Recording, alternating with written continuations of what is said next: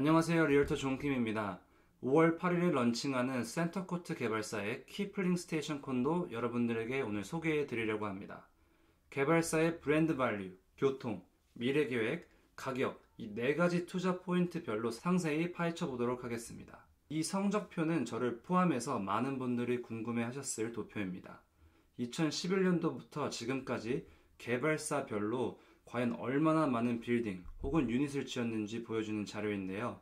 Tridel 다음으로 Centrecourt builder가 선두주자인 것을 보실 수 있습니다. 그 이유는 메이저 intersection과 인프라를 갖춘 그리고 미래 투자 가치가 있는 위치를 잘 선정하고 좋은 quality로 바이어들에게 보답하기에 믿을 수 있는 builder와 프로젝트로 인정받았기 때문입니다. 여러분들께서 잘 아시는 Transit City, Forest Hill, 55 Mercer, Prime, Grid, 콘도 등등 성공적인 프로젝트들이 많이 있었고 이 builder를 많은 분들이 선호하시는 큰 이유 중에 하나는 occupancy와 closing이 같기 때문에 occupancy fee를 절약할 수 있는 유일한 builder이기 때문에 투자자들이 많이 선호하는 개발사입니다. 그러면서 당연히 단 한 번도 cancel된 프로젝트가 없었습니다.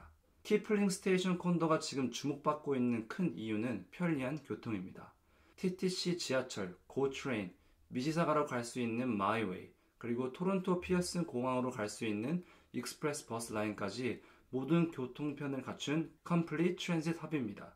이 모든 교통수단을 갖춘 위치의 프로젝트가 정말 손에 꼽기 어렵습니다. 토론토와 미시사가를 연결해주는 이 perfect한 위치에 있는 이 콘도는 5251 Dundas West에 위치하며 2분 도보로 모든 교통수단이 해결됩니다. TTC, LRT, MiWay, GO는 잘 아시지만 눈여겨보셔야 하는 교통수단은 공항으로 가는 루트입니다.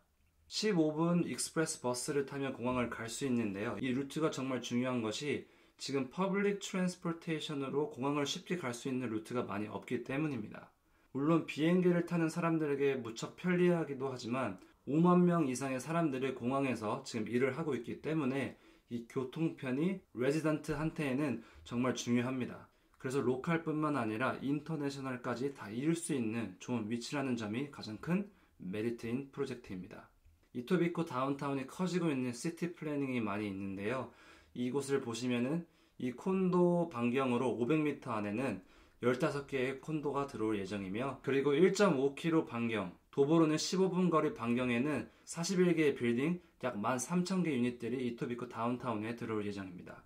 new civic center는 4분 거리이며 그리고 Dundas Connects 프로젝트로 인해서 벌링턴부터 여기 Kipling Station까지 Dundas 라인 교통과 인프라가 커질 계획이 있습니다.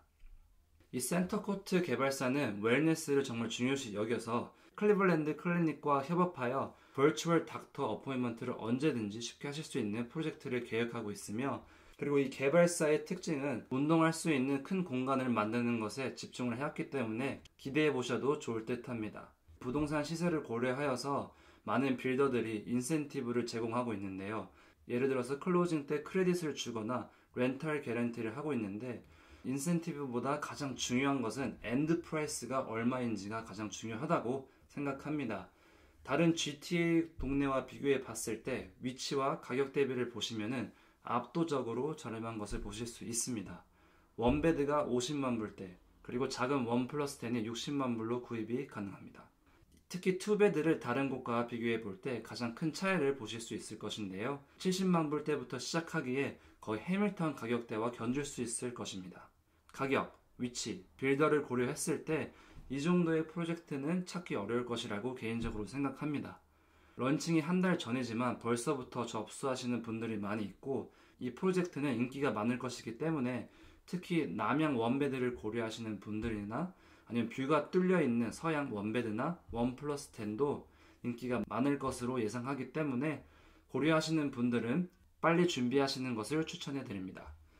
여러분들에게 현장감을 드리고 싶어서 제가 드론을 띄워봤습니다. 동쪽에는 지금 콘도 건물이 하나 들어왔기 때문에 동쪽은 막혀 있을 것이고 나머지 향은 뷰가 있습니다. 저의 추천은 서향과 남향일 듯 합니다. 하지만 동향에 efficient한 one plus den 모델들이 많이 있기 때문에 투자 용이시라면 꼭 고려해 보시길 바랍니다. 예상 가격은 square foot당 약 1250불 정도 할 것입니다.